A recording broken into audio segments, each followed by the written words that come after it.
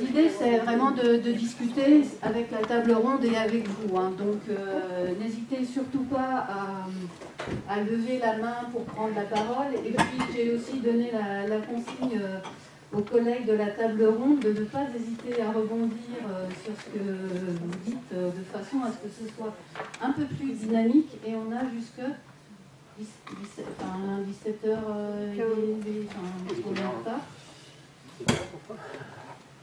avait juste, euh, théoriquement, excusez-moi, jusqu'à 17h, 17h ou 17h. 17h. Je pense que la partie, euh, on peut dire 17h15, ah Je pense que la partie restitution, euh, avec Frédéric, je pense qu'on va faire très très vite. donc, Michel nous a proposé trois, trois grandes thématiques. Enfin, une thématique, une première qui me semble assez importante autour de l'ouverture. Euh, qu'est-ce que ça veut dire euh, pour, euh, pour Novae? Donc on est bien sur les perspectives. plus d'ouverture, qu'est-ce que ça peut vouloir dire? Et donc, deuxième thématique, les synergies avec d'autres revues. je vous ai dit que pour INRAE, on en avait près de, de 18. et puis une troisième thématique autour de comment donner plus envie de lire, de publier, euh, sachant qu'autour de la table, euh, vous avez des collègues euh, qui ont des, entrées plus particulières, des postures, que ce soit président de centre, RH, qualité, infrastructure de recherche, partenariat.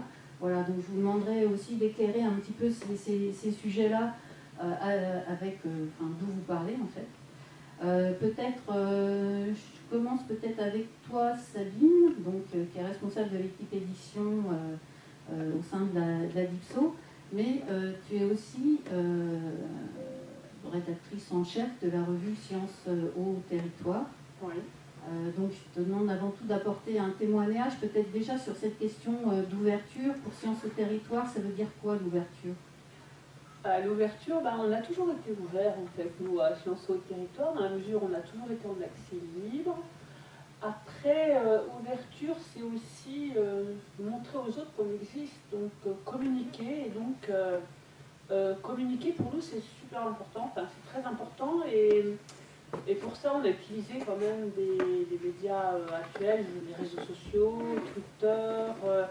Euh, on a également le compte Facebook, le compte LinkedIn, euh, on s'est attaché à avoir une page Wikipédia, enrichir cette page Wikipédia de tout ce qu'on pouvait autour du sujet euh, pour lesquels on était légitime de parler, hein, tout ce qui relève de l'environnement. Bah, ça a été surtout ça, et puis ça a été aussi d'avoir un site attractif en fait, avec de l'image, avec des textes écrits de manière veut simple pas spécialement longue, pas sur le mode euh, justement scientifique euh, avec euh, matériel et méthode, résultats, conclusions, voilà. le contexte est important pour nous. Bien entendu, les résultats sont importants pour nous, mais on n'est peut-être pas obligé de détailler toute la façon dont on est arrivé aux résultats. Voilà. Ça vient plutôt en termes d'autorat et de lectorat, en fait. Est-ce que les auteurs sont que Alors non, non, non. Nous, on, a, on veut absolument, et notre comité d'éditorial refuse les numéros où il n'y a que de l'INRAE. Alors c'est un peu moins restrictif à l'heure actuelle, on publie nos articles au fil de l'eau, parce qu'auparavant, quand on faisait un numéro de thématique et il n'y avait que INRAE qui se saisissait d'un sujet euh, comme la biodiversité en forêt, ça faisait bizarre de se dire que, bah, à l'époque on était IRSTEA, que seul IRSTEA avait euh, quelque chose à dire sur le sujet. Bien entendu, les autres organismes ont des choses à dire sur le sujet, et c'est intéressant de croiser ces regards. Alors, les autres organismes de recherche, mais pas que. Il y a également les gens qui travaillent dans les forêts. Donc, euh, il y a également des acteurs des territoires qui témoignent euh, dans nos, des, bureaux d'études, qui ont mis en place, par exemple, une procédure euh, de suivi du sanglier. Bon, je ne sais pas, j'invente.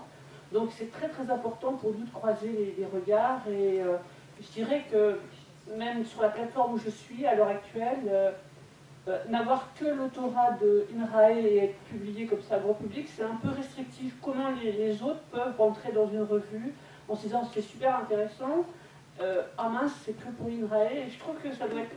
C'est un point sur lequel j'ai déjà parlé un petit peu avec Michel, et je trouve que ça fait un peu entre com et on se parle entre nous-mêmes. Voilà.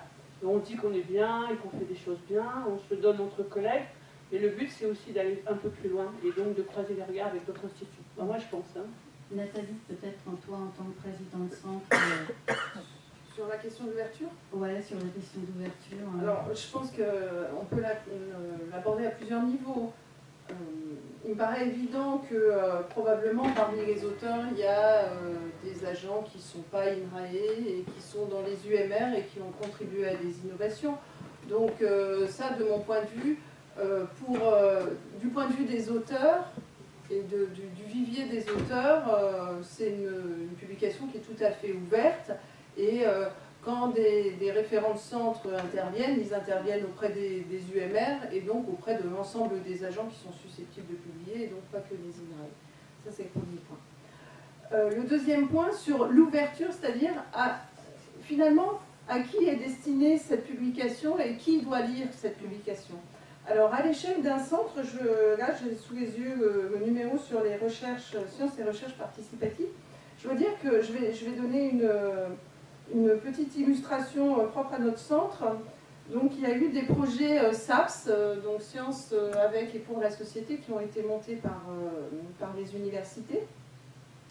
Et eh bien nous, dans notre région, ce numéro nous a permis d'être identifiés comme finalement un porteur intéressant sur tout le volet sciences et démarches participatives du projet SAPS dont nous avons la responsabilité avec l'université.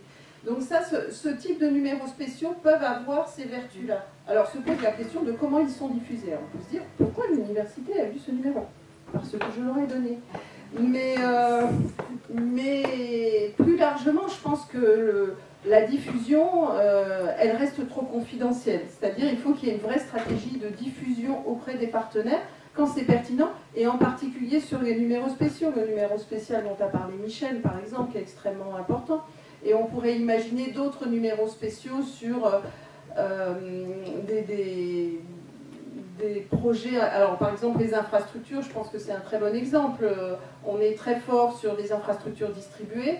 Ben, ça pourrait être bien de faire des numéros spéciaux sur certaines infrastructures distribuées très emblématiques d'INRAE et euh, qui seraient des bons vecteurs de communication auprès de nos partenaires, académiques, mais aussi auprès des partenaires territoriaux qui euh, ont toujours besoin de, visibilité sur ce qui est présent sur leur, euh, sur leur site.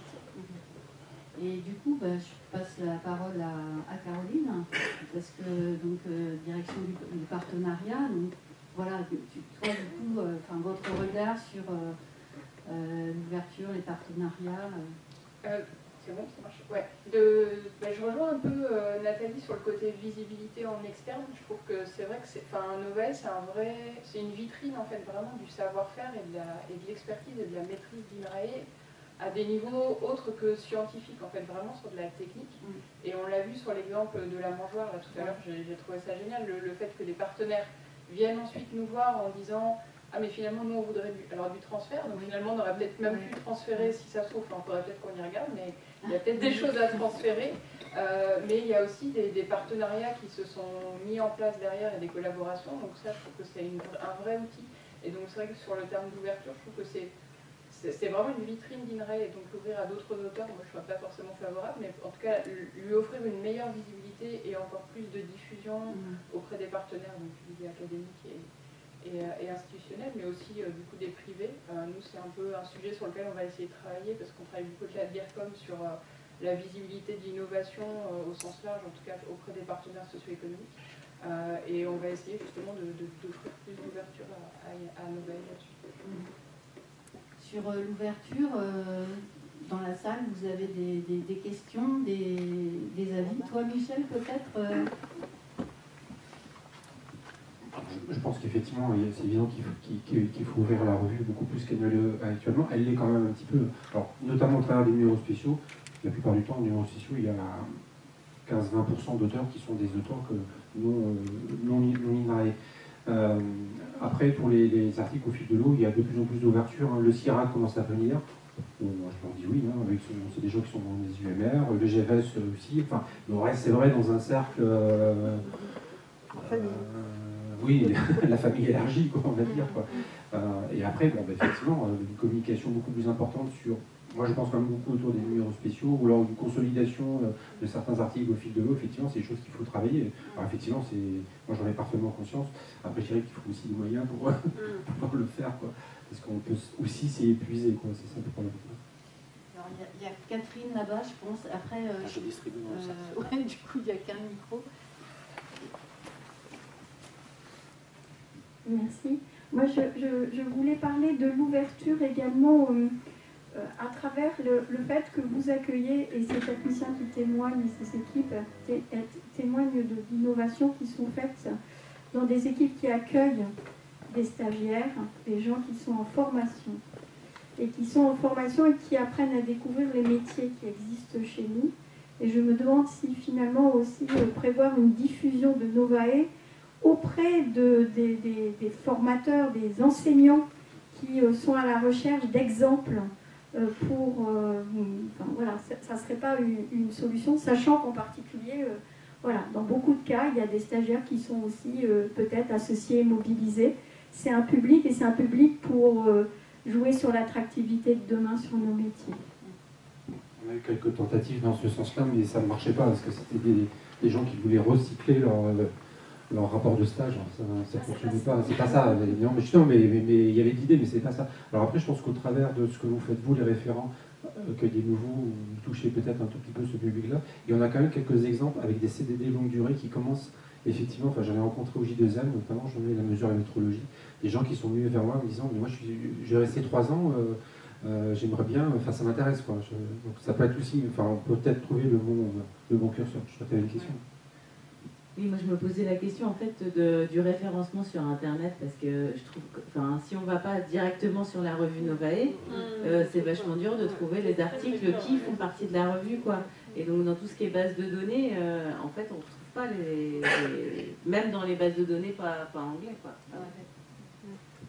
Ouais, typiquement, j'avais euh, écrit un article euh, bah, à l'issue des J2M 2016, je crois, et euh, il y a quelqu'un qui m'avait contacté, mais pas via euh, les qualités techniques.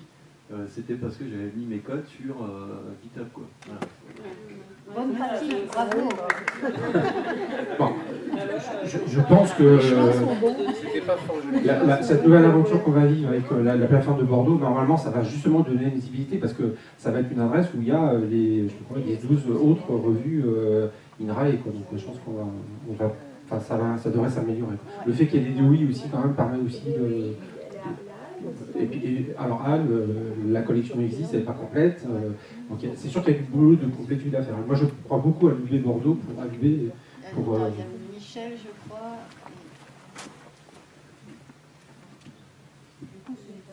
Je voulais savoir s'il existait des, une ou des revues un peu similaires, euh, par exemple en Ifremer ou euh, dans d'autres. euh, parce que nous, dans Rare, euh, on, a, on a des collègues de CIRAD et, et puis IRD, pas beaucoup, mais quand même quelques-uns.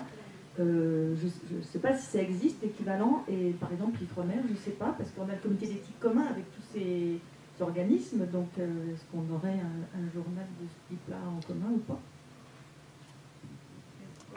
Tu as ta réponse J'ai pas, j'ai pas l'information. en. Peut-être le RGM, non, avec Géosciences. pas- j'ai- j'ai regardé un petit peu, je n'ai pas trouvé. Alors, il y a des journaux qui publient ce qu'on appelle les method papers, où effectivement on retrouve cet esprit, mais après on n'est pas dans l'état d'esprit euh, de Novae, d'accompagnement.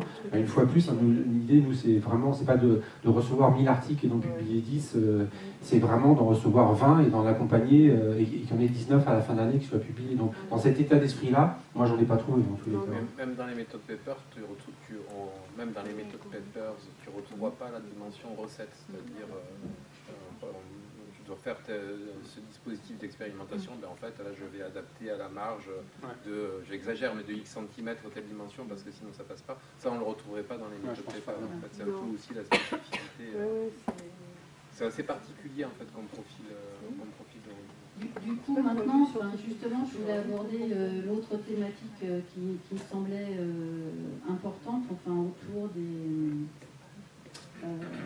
enfin, des, métiers, enfin, de la reconnaissance des métiers, du développement des, compétences, qu'on a, déjà, a déjà un petit peu abordé, mais du coup, concernant le, réseau qualité métrologie, il y a des réseaux.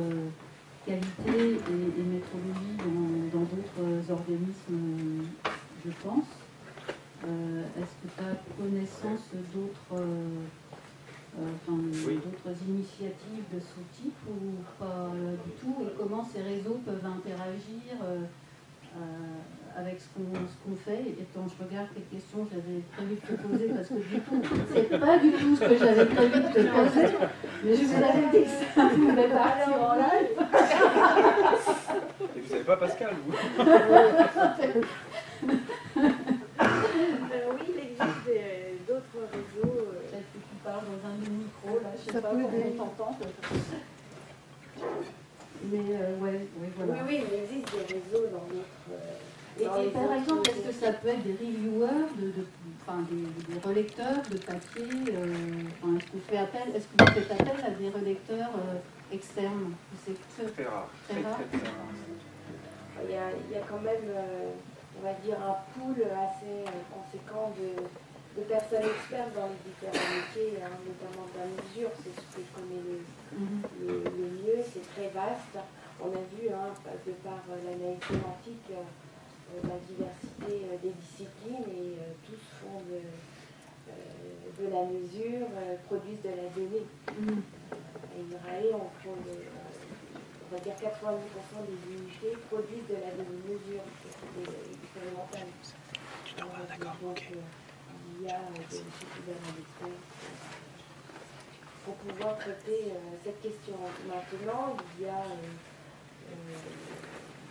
une, vitrine, on va dire, qui permet justement d'inviter des personnes en provenance d'autres instituts, c'est les journaux de la souvent des, des, personnes d'autres universités qui viennent, d'autres organismes, même, même de, questions.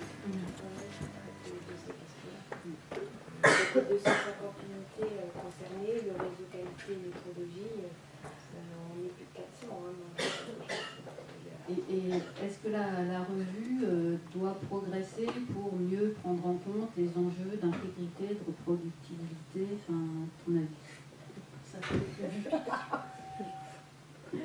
alors, alors, oui.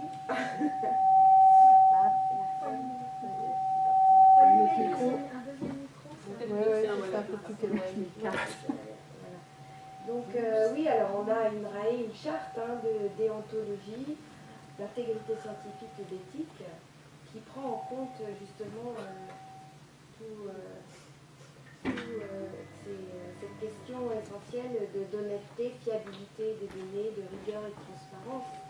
Et donc la démarche qualité, elle, elle va permettre justement de mettre en musique ces éléments-là qui doivent absolument constituer toute, toute, recherche aujourd'hui, pour donner justement confiance dans les résultats de la recherche. Puis après, euh, il y a par rapport à la qualité euh, des, euh, données, la qualité des, mesures, hein, là, évidemment, c'est appel à, l'expertise des, personnes dans, leur métier, hein, dans leurs activités, cœur de métier. à INRAE, on a dans le réseau a développé, alors ça s'est pas fait en 2019 comme ça, hein, euh, vous avez vu là en 2010, il y a eu une série sur la validation des méthodes dans le profil d'exactitude, il y a eu il y a toute une historique que je vais pas présenter euh, mais euh, oui, oui, il y a des, des instances, par exemple le département de recherche à l'époque, voilà, c'est collègue. Euh, qui avait euh, pris euh, à bras le corps ces questions de, maîtrise des équipements et, des données de mesure. Il y a aussi qui, est là, hein, qui justement fait partie de ça. Et, donc, tout, ceci, c'est vraiment un cheminement, c'est de la conception, on l'a vu émerger, on le voit aussi à, travers l'analyse sémantique, que la, la, donnée de mesure et comment la traiter aujourd'hui était essentielle de par euh, notamment euh, l'ouverture et le partage des éventuels euh, des données. Ça, c'est vraiment hyper, hyper important. Et donc, on a conçu une démarche métrologique qui va jusqu'à valider les résultats de la recherche par rapport à Hier, on a. Ça, ça réglé le problème. Contrairement à ce qu'on pourrait croire. Voilà. Ne cherchons pas la logique. Donc euh, oui, oui, c'est absolument important et euh, on le voit également, euh, ces éléments-là sont traités euh, dans les, dans les articles Ouais. détaillés. Il y a eu des 25 enseignes seulement. sur le sujet et euh, Ah oui, ouais, c'est ça. parce que euh, dans le proche avenir, on va, euh, on va encore développer ces questions-là en intégrant tous sur les éléments sur la qui viennent peut-être prendre en compte euh, le bien-être, l'éthique, euh, les, euh, l'ouverture des données, etc. Ouais, ouais. Et, des, et des codes, des bonnes pratiques, euh, voilà.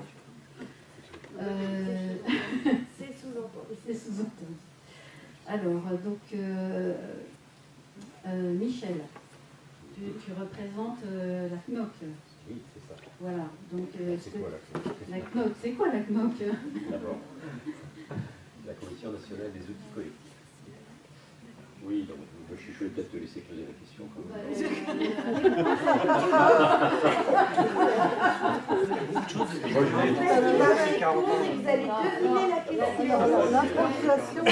L'importance de la revue pour les dispositifs euh, expérimentaux, la valorisation des, savoir-faire euh, des, ingénieurs, euh, des, plateformes, des dispositifs, des dispositifs expérimentaux.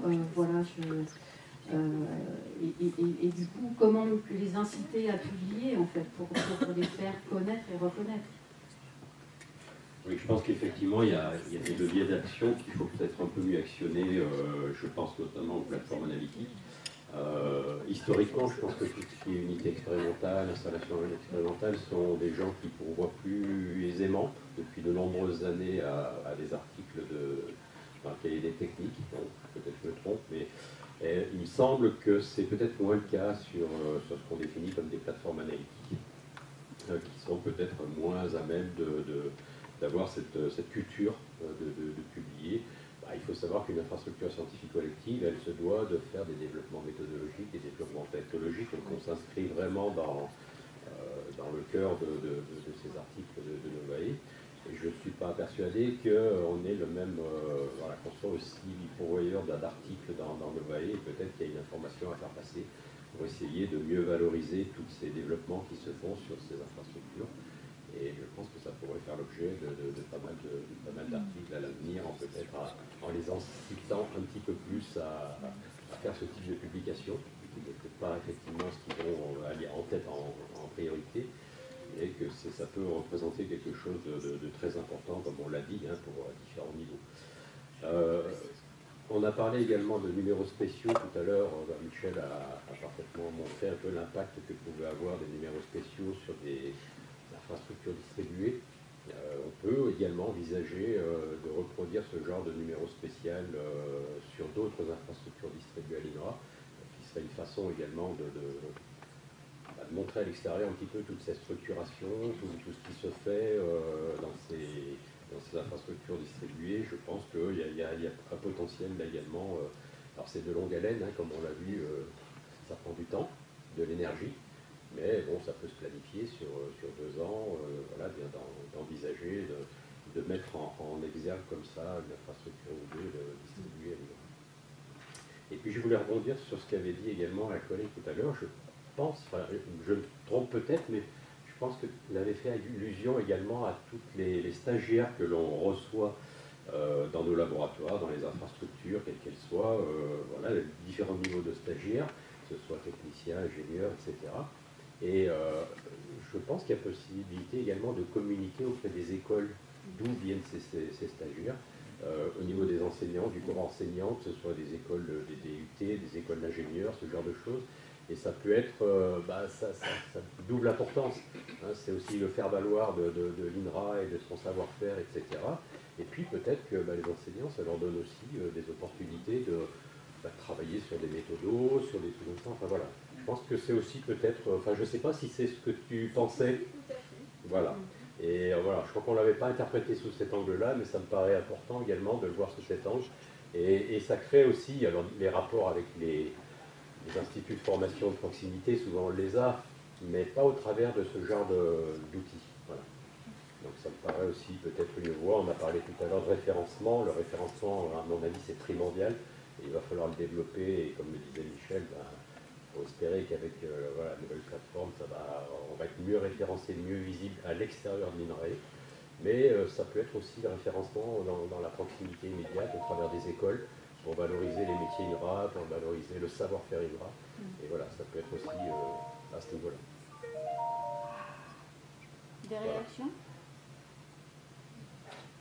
Moi, c'est simplement de, par rapport au référencement et la plateforme, je pense que ça va vraiment vous aider. Hein, voilà, il y a des plugins spéciaux, par exemple sur Google Scholar, euh, il y a l'implémentation des OI via Crossref automatique, euh, il y a la possibilité de mettre les orchides des, des, chercheurs, il y a aussi une aide au référencement dans des bases de données, euh, des, des, de revues ouvertes, des, bases de données de qualité comme les BOAJ.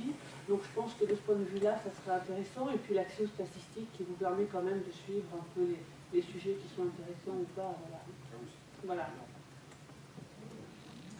Du coup, Karim, euh, on, va, terminer avec, toi, puisqu'on a un peu dépassé l'heure, mais euh, comme l'a dit, tu une valence RH forte et que tu représentes cette, euh, cette valence, du coup, les, questions, c'était, du coup, je ne veux pas te désarçonner en posant une autre question que celle que j'avais prévue, c'était les synergies que tu vois avec les, réseaux métiers et en quoi une revue peut contribuer au, au développement des, des compétences des agents.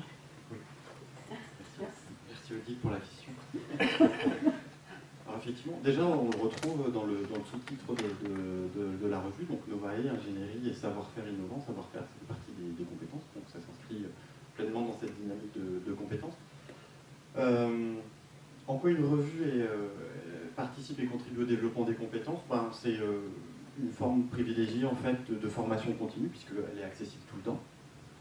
On, va y retrouver aussi euh, une opportunité d'apprentissage par l'accès à des connaissances, des connaissances mises à jour, euh, des savoir-faire euh, techniques qui contribuent au développement des compétences des agents et à la, valorisation des savoir-faire techniques. On inscrits bien pleinement dans cette dynamique de, développement des compétences. Pour, faire le, relais avec ce qui a été dit au, travers de, l'enquête qu'Alexandre nous a présentée, en fait, c'est aussi l'occasion en fait d'ouverture et de perspective en fait, c'est-à-dire que euh, je le dis avec mes mots, mais euh, les méthodologies qui sont développées sur les tomates, bah, on peut peut-être s'en approprier une partie pour pouvoir l'utiliser sur d'autres d'autres modèles, d'autres outils. Donc c'est aussi, ça contribue à, l'élargissement des perspectives et donc euh, en soi le, développement de nouvelles compétences. Et puis il y a toute cette dynamique de réseau dans la mesure où en fait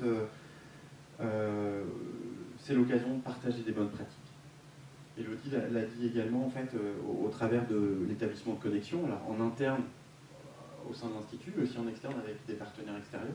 Donc c'est cette dynamique de réseau qui contribue aussi au développement des compétences et à cet, enrichissement personnel euh, dans son activité professionnelle.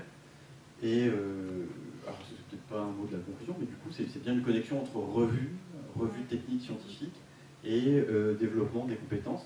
Et au-delà de ça, il y a aussi un caractère assez particulier que Michel avait souligné, c'est le fait qu'en fait, les auteurs sont accompagnés. Donc, un technicien va être aussi accompagné dans de nouvelles compétences, des compétences d'écriture qui ne sont pas forcément son, cœur de métier, mais qui contribuent aussi euh, pour, cet agent à acquérir de nouvelles compétences.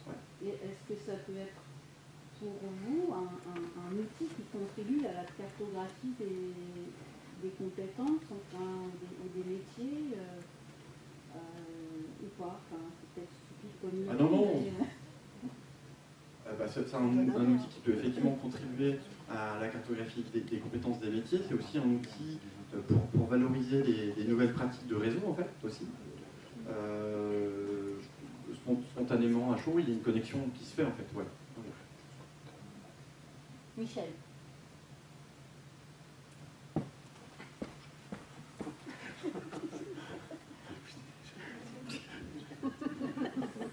Un, témoignage, mais euh, au niveau RH, donc on a des entretiens d'activité tous les ans avec euh, les personnels.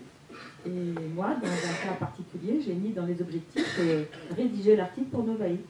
Parce que justement, on a une personne qui est un peu, comment dire, pas, bien dans sa peau, on va dire, qui a travaillé sur une nouvelle technique, et puis bah, voilà, ça, ça n'aboutit pas, on est sur le truc, on a fait les trois quarts, mais bon, voilà, et donc on, l'a encouragée, elle s'est inscrite aux ateliers d'écriture, et puis après, alors je ne sais pas si c'est reculé de rôle obstacle, elle en a fait un, mais finalement après, elle a dit, mais alors j'ai eu des problèmes dans ma famille, elle n'a toujours pas rédigé l'article. Donc moi, à chaque fois, j'insiste euh, et je mets un objectif 1, puisque maintenant qu'on a des nouveaux euh, formulaires euh, qui sont beaucoup plus précis qu'avant, je, trouve que c'est beaucoup mieux. Comme ça, on liste les objectifs prioritaires, 1, 2, 3, 4, et l'année, ben là, en février-mars, je vais dire, bon, alors, il est où l'article? Alors après, il y a tout un tas, je ne sais pas si ça existe dans les ateliers d'écriture, c'est la, question des co-auteurs. Voilà. Alors, vous avez mais alors, il qui avait participé avec moi, est-ce que je mets en co-auteur Alors, est-ce que c'est une façon de refuser l'obstacle, de chercher toujours d'autres petites questions, mais donc toujours pas rédigées? Mm. Mais euh, dans la reconnaissance, euh, j'ai eu l'impression que parfois certains se disent c'est moi le seul auteur, comme ça je suis reconnue, euh, ou c'est révélateur d'un autre problème et qu'elle ne sait pas à qui demander d'être co-auteur. Enfin, mais finalement, c'est un peu révélateur de, de se dire ce que tu as fait, ça mérite de faire un article dans Novae. Et puis bon, après on voit le chemin s'il si, se fait bien ou pas. La, dimension équipe, enfin, du coup, intégration dans l'équipe ou pas, enfin, c'est des choses organisationnelles qui peuvent, euh, qui peuvent ressortir.